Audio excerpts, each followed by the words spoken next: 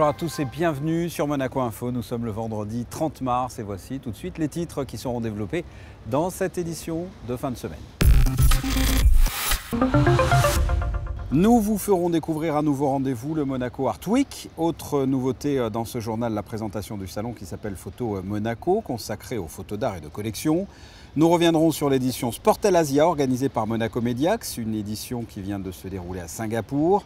Du tennis avec la préparation de la Coupe Davis. Les Monégasques vont tenter début avril de remonter dans le groupe 2 lors d'un déplacement en Bulgarie. Et enfin, notre invité du week-end, ou plutôt nos invités du week-end, le duo parallèle, deux frères qui ont l'habitude de faire de la musique ensemble de façon originale.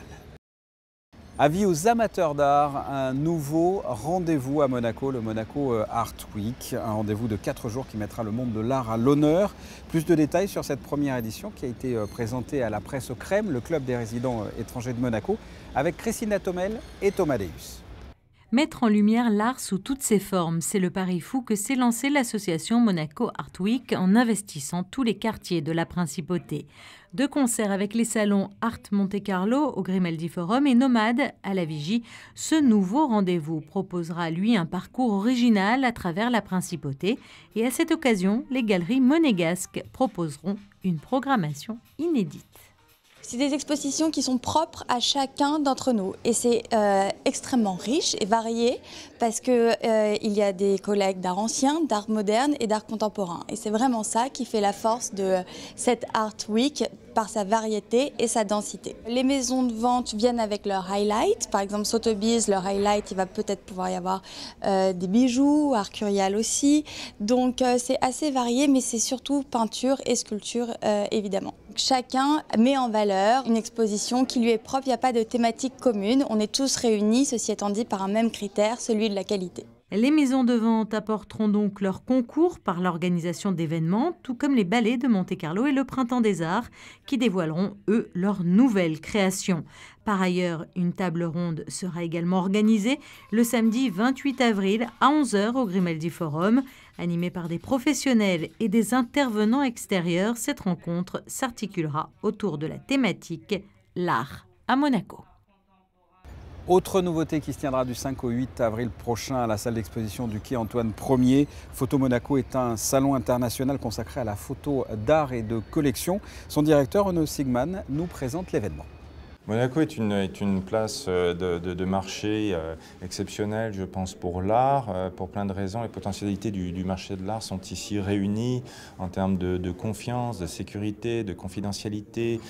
C'est une place de marché, je le disais, parce que financièrement, elle a vraiment atteint un niveau aujourd'hui international et qui lui permet effectivement, dans l'ensemble des, services et, du lifestyle, d'offrir à des résidents, mais aussi des visiteurs du monde entier. C'est qu'il y a plus de 130 euh, nationalités représentées en principauté, mais euh, d'être, de, de, vivre en fait sur le rocher l'expérience ou les expériences qu'ils recherchent. L'art en fait partie. Ce qu'on voulait surtout avec une, un, un, salon international consacré à la photo d'art et de collection, c'était pas de refaire un énième salon. Euh, donc on voulait faire un, parcours et aussi euh, euh, l'inscrire dans une dimension, une perspective historique et une dimension véritablement artistique. Donc il y a un pôle marchand qui sera réuni dans la salle des expositions du quai Antoine Ier du 5 au 8 avril avec des marchands, des éditeurs spécialisés dans la photo d'art et aussi un espace muséal consacré à une collection exceptionnelle qui vient d'Allemagne. J'en dis pas plus, elle est de période archaïque 1840-1880, elle est vraiment du niveau voilà, muséal, du plus au niveau international. Donc euh, ça, c'était une volonté aussi euh, de l'accompagner d'un parcours culturel plus institutionnel et qui s'inscrit dans la haute saison, dans trois hauts lieux du Rocher, les grands appartements du Palais Princier, le musée océanographique de Monaco et la collection de voitures de SS Le Prince de Monaco. Vous connaissez bien sûr le Sportel, manifestation qui réunit euh, le monde du sport et des médias. Eh bien, le Sportel s'exporte notamment en Asie il y a quelques jours seulement. Un reportage. Le Sportel Asie s'est déroulé du 13 au 15 mars dernier à Singapour. On connaît le Sportel Monaco qui sévit en principauté depuis près de 30 ans maintenant. Le salon en octobre qui réunit les grands noms de l'industrie du sport business et des médias. Cette manifestation en principauté est tout simplement le rendez-vous annuel de la planète sport. Depuis plusieurs années, le Sportel s'exporte tout d'abord aux États-Unis et plus récemment en Asie. Le Sportel de Singapour a réuni il y a quelques jours 650 participants venant de 43 pays et représentant 70 compagnies différentes. Il y a une grosse manifestation, la principale c'est le Sportel Monaco qui se déroule en octobre, qui, regroupe plus de 3000 participants, 200 exposants, c'est la grosse manifestation, la, place to be où tout le monde est obligé de venir. Toute l'industrie du sport business se retrouve à Sportel Monaco. Après, il est important aussi pour nous de permettre aux Européens notamment d'aller, si vous voulez, s'exporter, faire du business dans des territoires comme l'Asie ou les États-Unis auparavant. Là, l'Asie, bah, à mon sens, est plus prometteur. Nous avons plus de, chances de développement de la manifestation sur le territoire asiatique. C'est la raison pour laquelle, pendant euh, peut-être deux ans, voire trois ans, nous allons euh, aller en Asie. Après le Sportel Monaco et le Sportel Asie, une nouvelle manifestation est à prévoir les 15 et 16 mai prochains à Miami Beach. C'est le Sportel Summit. Donc c'est une manifestation qui est différente des, Sportel Monaco et du Sportel Asie, puisque ce n'est pas un marché, c'est un cycle de conférences sur deux jours qui rassemblera les 300 plus importantes decision makers du sport business.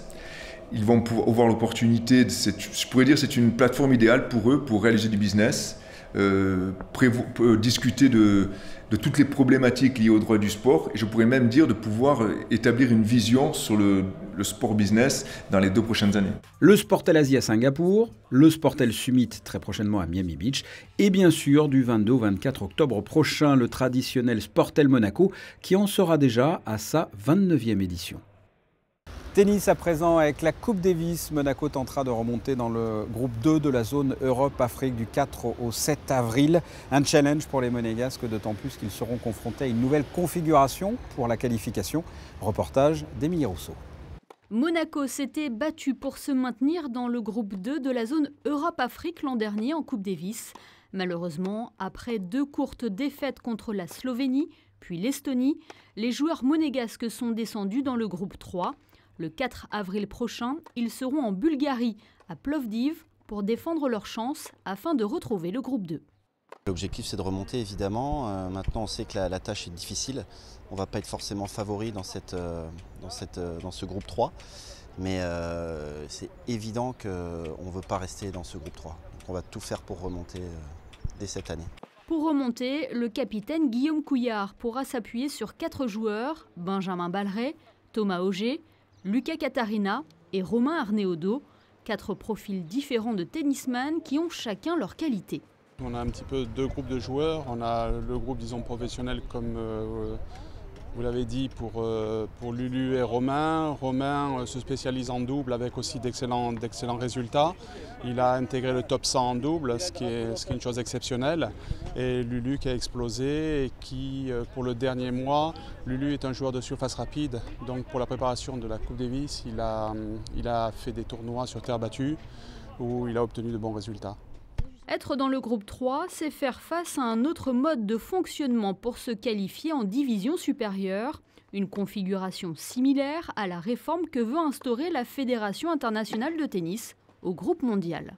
On sera à 8 nations au même endroit, deux poules de 4, et il faudra finir premier de notre poule et pour euh, battre ensuite le premier de l'autre poule. D'une certaine façon, euh, c'est ce qu'ils veulent faire dans le groupe mondial, ils veulent réformer la Coupe Davis, vous avez déjà dû entendre ça. Et euh, ben, c'est un petit peu ce qu'ils veulent faire dans le groupe mondial et nous on va vivre ça euh, cette année. Pas forcément parti pour être favori, Monaco devra se méfier de la Bulgarie, la Macédoine et de Chypre. À Plovdiv, les joueurs n'auront pas le droit à l'erreur. Comme chaque année à l'occasion des fêtes de Pâques, la mairie organise deux animations destinées aux enfants, des chasses aux œufs originales au jardin exotique de Monaco et au parc Princesse Antoinette. Nouveauté cette année, une basse-cour investira aussi le marché de la Condamine samedi matin de 10h à 11h30. Samedi toujours, mais un peu plus haut. Le jardin exotique vous propose donc une chasse aux plantes très originale. Une fois leur mission achevée, les enfants repartiront avec un sachet d'œufs en chocolat. Et dimanche, place à la huitième chasse aux œufs au Parc Princesse Antoinette de 14h à 17h en collaboration avec la boîte de jeux. De son côté et dans le même quartier, le musée d'anthropologie préhistorique Fête Pâques aussi vous accueille jusqu'au lundi 2 avril pour un nouveau jeu en famille. De 9h à 18h, une nouvelle enquête est à votre disposition à l'accueil. Observez bien tous les objets pour gagner.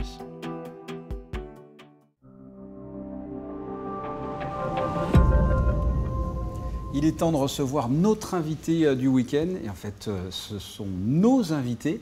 Euh, une fois n'est pas coutume. Vous êtes deux, mais vous êtes une seule entité, le duo parallèle. Bonjour. Bonjour. On va parler musique avec Julien et Thomas. tout simplement, qui êtes-vous? Qui est parallèle? Donc voilà, on est Julien et Thomas Debir. On est deux frères, alias Parallels. C'est notre nom d'artiste. On est, euh, on est hollandais, mais on a grandi à Monaco. Donc mais ça s'entend pas le, hollandais là. Non, on a fait toutes nos scolarités euh, à, Monaco, au lycée Albert Ier, à la Condamine et au Charles III. Et voilà, donc euh, on est passionné de musique. On est musicien nous-mêmes. On a été à l'Académie de musique de Monaco, classique pour ensuite passer au jazz. Et puis là, on, fait, on fait envie de la musique. Dans quel style? Qu'est-ce que vous faites comme musique? C'est la musique électronique mais il y a quand même une belle influence euh, classique, jazz, il y a beaucoup d'instruments. Euh, c'est assez instrumental, mais il y a toujours ce côté euh, électronique, avec les synthés et d'autres machines en fait qu'on utilise. On est amoureux des mélodies. Mélodie, deux, deux, instruments, deux frangins, pardon, et vous faites de plusieurs instruments. Qui fait quoi dans le, dans le duo? Moi, j'ai fait du saxophone à l'Académie de musique, et puis là, je continue. Et Thomas, il... Moi, je fais du piano, de la guitare, je chante aussi. Et en fait, on touche un peu à tous les instruments. On a un père qui joue du steel drum, donc on joue euh, du steel drum. Après, tout ce qui est rythmique, euh, on, se l'apprend tout seul, en fait, et, euh, on, arrive à jouer. Vous l'avez dit, vous avez fait l'Académie de musique Régnier 3 ici à Monaco. Qu'est-ce que ça vous a apporté? Qu'est-ce que vous allez ah retenir de l'Académie? Ça nous a apporté toutes les notions de solfège déjà qui, qui nous aident énormément dans toutes nos productions les bases, ouais. Toutes les bases. Euh, et, en fait, on est passé du classique au conservatoire de, jazz, euh, à l'académie de jazz. C'est important le jazz pour faire de l'électro? Oui. Et c'est important le classique aussi. Mais le jazz, en fait, il y a tellement de changements et l'électro est assez. Euh, on dirait que l'électro, c'est toujours quelque chose de répétitif. Du coup, nous, le fait qu'on ait cette notion de jazz, ça nous permet d'avoir une électro un peu plus sophistiquée qui change sans avoir cette répétition toujours constante. Et vous mixez où Vous jouez où euh, Un peu partout à travers le monde. J'ai vu sur votre CV, il y a plein de dates, plein de pays. on joue beaucoup, que vous faites beaucoup en Europe. Berlin, on y va régulièrement et Londres. Dans des euh, clubs dans... dans... des clubs. On a pas mal de festivals aussi euh, pour cet été. et puis on a, on a, eu la chance de jouer au Mexique, à Tulum, à, Saint-Domingue, en, République dominicaine, en Égypte. On a Tunisie l'été dernier. Là, là, on commence à voyager hors, Europe. On a fait beaucoup de pays. On a fait pas mal. Vous commencez à avoir une, Vous vous rendez compte de la notoriété que vous commencez à avoir C'est exponentiel. Ouais. On a vraiment l'impression euh, que c'est exponentiel. Du coup, on se fait bouquer beaucoup plus souvent, dans des endroits insolites aussi. Les festivals. Euh, oui, là, cette euh, année, cet été, on a deux ou trois fois plus de festivals que l'année dernière. Donc, on voit que ça progresse. Ça, ne fait que progresser. Donc, on est assez euh, excités. Vous êtes musicien et ce qu'on peut dire aussi, et c'est votre particularité que j'ai beaucoup apprécié en vous découvrant, euh, que vous êtes aussi des attrapeurs de bruit?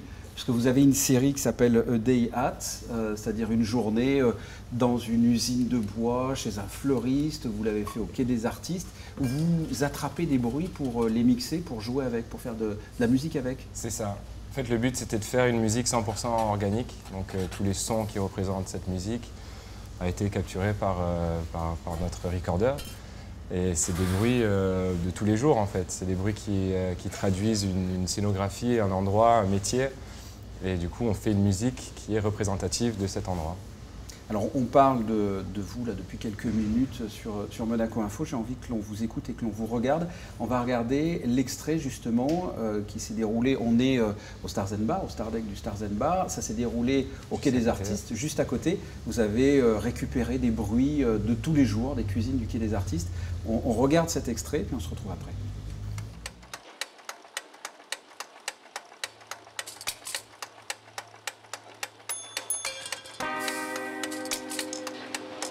proclame une langueuse du des changements les plus belles, de jour, Seigneur Christ.